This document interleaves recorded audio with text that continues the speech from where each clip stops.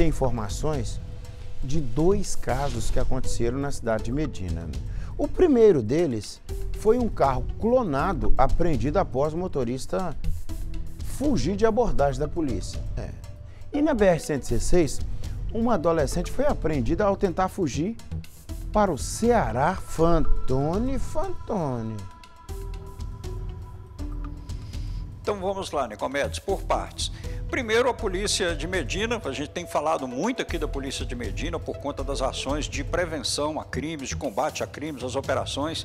E numa dessas ações preventivas, um cidadão ele fugiu de uma abordagem policial, mas as características do veículo foram anotadas, feito o cruzamento de informações e descobriu-se que esse veículo era um clone e que o veículo, o verdadeiro veículo, ele estava em outro lugar, ou deveria estar em outro lugar.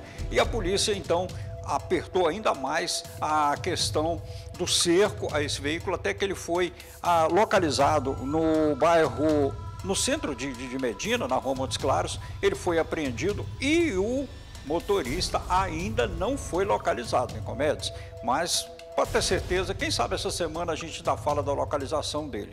A outra situação que você falou foi mais uma página daquela tríplice divisa, mais uma ação da tríplice divisa. A Polícia da Bahia informou, a Polícia Militar da Bahia informou a Polícia Civil de Medina que uma adolescente de 16 anos estava em deslocamento dentro de um ônibus do Rio de Janeiro com destino ao Ceará.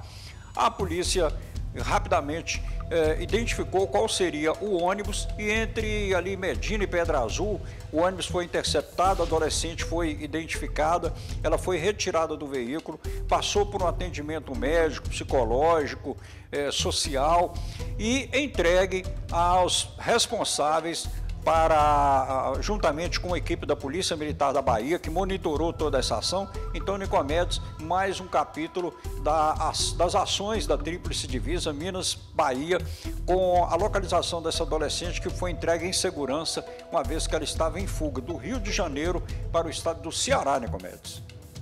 Deus do céu. É preciso ter juízo, né? É preciso ter juízo. Obrigado, viu, Antônio, por sua informação, meu amigo. Depois você volta aqui no Balanço Geral. Vem comigo aqui.